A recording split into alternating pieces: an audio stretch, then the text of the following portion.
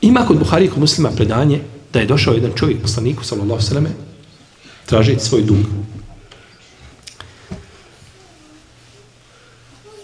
Bio mu je dužan debu, poslanik, sallallahu sallam. Pa kaže, pa je grubo se obratio. Pa su ashabi se naljutili. Htjeli su da ga zbog toga ukore, da ga sankcionišu, kazne. Pa je rekao poslanik, sam kaže, ostavite, kaže, ko ima pravo, on ima svoje pravo, mi smo njemu dužni. Kaže, dajte mu, kaže, devu, kakvu smo mu dužni. Kaže, Allah poslaniče, nemamo tako, imamo samo bolju. Kaže, dajte mu bolju. Najbolji među vama su oni koji najbolje isplaćuju dugove. Pa su mu dali bolju od te deve. Nije rekao, pa dobro, lao grobe, ti izdošao, pa ja sam poslanik, pa ja sam predvodnik sinova Ademu i na sudnjem danu, pa ne može niko ući u džennet prije. Ne, nećeš ući u džennet prije mene. Kad ja otvorim vrata, onda ćeš ući u džennet. Je tako? Ovo ovo prevedemo. Na naš. Ja sam tebe naučio da ti klanjaš. Šta hoćeš? To ti je to. Ili znam te kad nisi klanjao.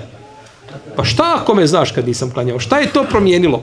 Ja sam počeo klanjati i hađ sam obavio i, i, i, i, i bjelicu nosim, a ti si dalje ostao, ideš po kafanama i slušaš muziku.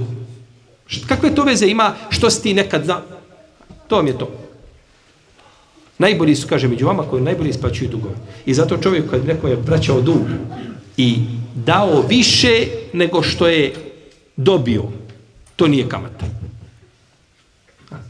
dužan si mu 1000 eura i ti mu još uz 1000 daš 100 eura, kažeš da odeš na ručak, ti i tvoja hanuma, to nije kamata. To je kamata samo ako je uslovljeno prije davanja duga. A poslije davanja da čovjek nešto da, uz to nema smetnje. Ali neobavezno je da to ne bude uh, u društvu poznato, jel tako da ne bude običaj, onda to može biti problematično.